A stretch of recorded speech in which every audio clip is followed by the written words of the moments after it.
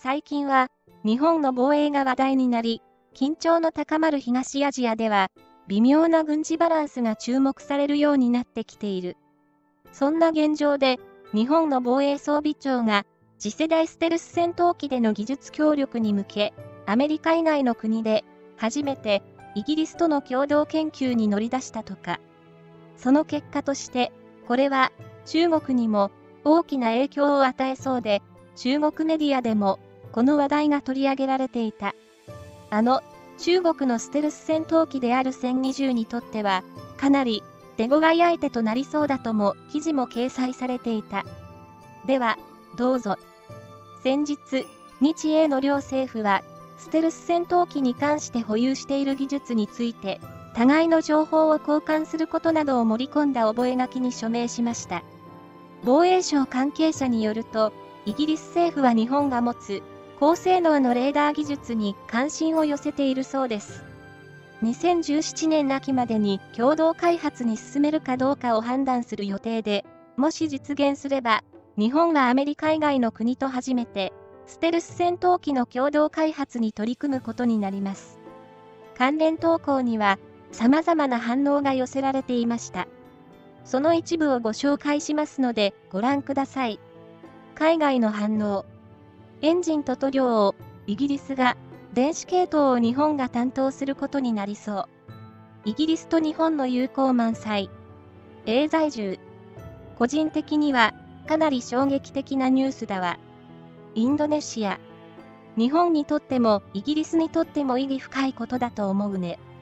二つの国が組めば、ライバルはアメリカ製の戦闘機くらいだろう。国籍不明。この計画にアメリカも参加できれば最高なんだけどな。アメリカがステルス機を作ると期限通りに完成できないし、大抵の場合予算を上回っちゃうから。アメリカ。でも、イギリスは、ユーロファイター台風はもういいの？対、日英が手を組んで戦闘機を開発するなら、F35 は無理に性能を上げていかなくてもいいでしょ。カナダ。歴史を鑑みるに、日本の戦闘機は F35 の代わりとして売れるだろうな。性能は F35 と同じかそれ以上だけど価格は安いだろうし、設計もちゃんとしていて、信頼性も高い。国籍不明。日本の航空機の歴史をもっとちゃんとよく調べてみろよ。自動車とは違うんだぞ。アメリカ。日本も英国と一緒に欧州から離れていくのかねルーマニア。日本とイギリスが手を組んだのは、かなり納得がいく。多分、フランスも一緒にやることになるんじゃないかな。失敗のないように、戦闘機のプロジェクトを進めるのは、かなりの時間とお金が必要になってくるから、日本やイギリスみたいな国が組むのは合理的だよ。国籍不明。ついに、俺たちは有能なパートナーと手を組むことができた。イギリス。ちょっと早いエイプリルフールか。だよね。オランダ。悪いアイデアじゃないよな。どうなるのか見ものだわ。アメリカ。トランプは、日本とイギリスから米軍を撤退させるべきだろ。モダンな戦闘機を作るための技術を、あの2カ国はアメリカから奪い取ろうと共謀してる。アメリカ。日本は、結局、心身はどうするつもりなんだ？国籍不明。それは、それ、これはこれってところなんでしょ。F4 ファントムの代わりに、F35、F15 の代わりに心身、そして F2 の代わりがこれになるんだと思う。国籍不明。イギリスが日本との共同開発に参加。日英同盟の復活だな。永在住。イギリスと日本が手を組むなんて、なんか色々考えさせられる。フランス。君たちの反応を見てると、日本とか、イギリスとかの国は、アメリカに頼らず、自分たちの5世代戦闘機を作るべきって思ってるんだな。だけど、正直それは難しいだろ。アメリカ。イギリスの BAE システムズと三菱が手を組むのかな。ベトナム。台風と三菱の融合とかすごそうだな。インドネシア。トランプ大統領になって、アメリカはアジアから手を引こうとしてる。日本は日本で自国の利益を求めてるし、第一次世界大戦前、日本はイギリスと同盟を結んでたこともある。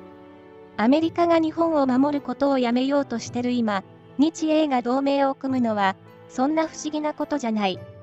アメリカ、二人の経済的巨人、日本とドイツの防衛費は GDP のわずか1%。アメリカに盾になってもらってるから可能なんだ。日本とドイツはアメリカと経済的に争うためにアメリカに守ってもらいながら富を蓄えたんだよ。どうして貿易黒字を積み上げてる豊かなあの2カ国をお金をかけて守っていかなくちゃいけないんだアメリカ。これは確認された事実なのか ?F35 はどう考えてもないもんな。